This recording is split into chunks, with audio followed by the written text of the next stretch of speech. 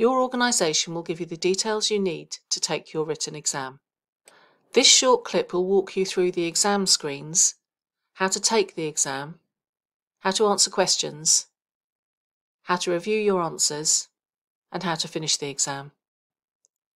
At the top of the exam screen in the blue Speedwell banner, your name appears on the right and this is where you'll sign out. You can change your settings here. Exams not taken are listed here. You might have more than one exam to take. Check your exam details and click Take.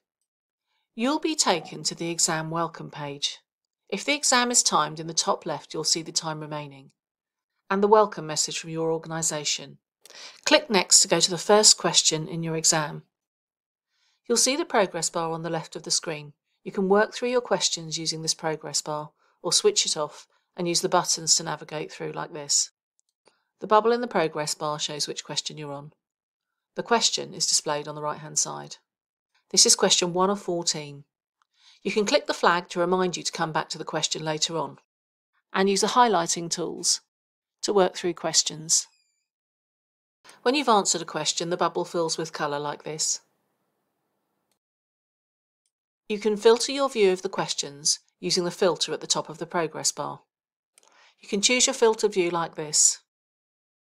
When the filter's on, it shows as red, and you can change a filter or remove it in the same way. At the end of an exam, there's a chance to review answers. Clicking Next on the last answer takes you to Review your responses.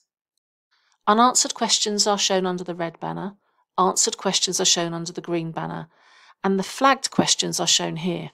Clicking the review link next to any question takes you straight back to that question, so you can adjust your answer or complete anything you've missed. There's now a review button at the bottom, and this will take you back to review your responses. Once you've finished reviewing everything, clicking the finished button at the bottom of the screen and confirming